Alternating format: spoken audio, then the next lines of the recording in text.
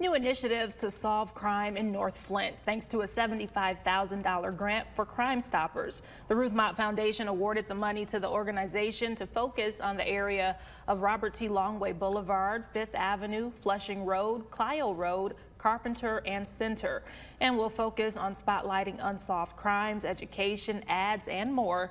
The foundation says since 2017, nearly 1,100 tips were submitted, with 55 of them leading to an arrest. The renewal grant is through June of 2024.